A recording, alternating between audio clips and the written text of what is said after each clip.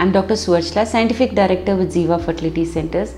Ziva Fertility is conducting a free camp for patients suffering from infertility. We are conducting this camp in the month of May on every Saturday at Kompalli, Sanat Nagar, Banjara Hills and Manikonda. Included in this camp are free registration, consultation, counseling and semen analysis. Subsequent treatment options will also be uh, suggested to you and you can avail this opportunity. Hello, I'm Dr. Suvarchala, Scientific Director with Ziva Fertility Centers. Very often patients ask us what is the normal parameter of sperms for us to get pregnant? Does the quality of sperm also influence your chance of success? Yes, definitely it influences your chance of success. As you can see, it is a race for the sperms to reach the eggs and the more the sperms, the better it is for one of them to uh, you know fertilize the egg and form a baby. So there are a few parameters that we look at according to WHO guidelines. Uh, it's the count, it's the motility and the morphology. So these are very important things and they influence your chance of success. So count is critical because in an acidic atmosphere inside the uterus, uh, very few sperms which are very um, capable and have good motility, have good morphology are able to survive that hostile environment and finally reach the uh, egg. So it's very critical for a good number to be there which is about 15 million uh, per ml. So in 1 ml at least 15 million should be present.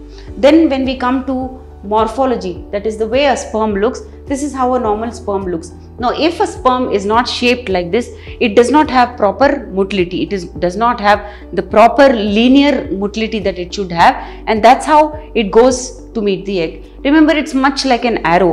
Once it is off from the bow it needs to be in that shape and size and weight to be able to reach its target. Much like so the sperm also is like that. It needs to be of that shape. The head needs to be of you know a particular size and shape the mid piece and the tail also. Any abnormality in the uh, or defect in the head mid piece or the tail will not help the egg uh, be fertilized by the sperm because it cannot reach it.